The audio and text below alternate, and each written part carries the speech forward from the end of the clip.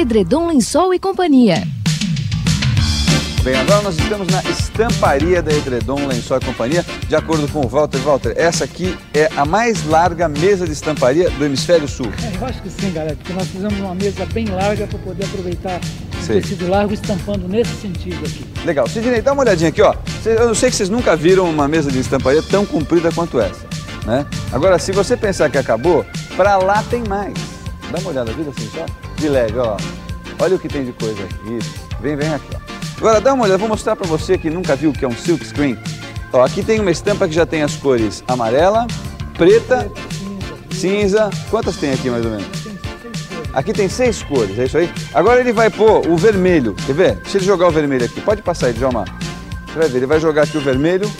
Ele vem com a tela, isso é uma tela, né? Um quadro. Uma tela, é, uma tela de silk screen, tamanho gigante, né? Tá bom. Agora ele vai passar o vermelho. Vocês vão ver como é que vai ficar o desenho com o vermelho. Vamos passar pra cá, aí.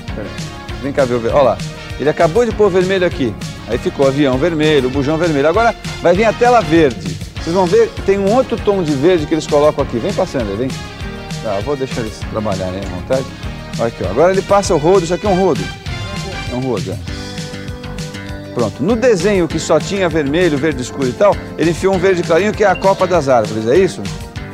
É, que transado que tá ficando, ó. Agora falta o azul, olha lá, ó. Tem vindo um azul, tá chegando um azul aí, ó. É a turma do vermelho, o verde, o azul, parece papo de louco isso. Só fala em cor. Olha aí, pronto. Vem ver como é que vai ficar com o azul. Uau! Dá uma olhada. Esse é o céu.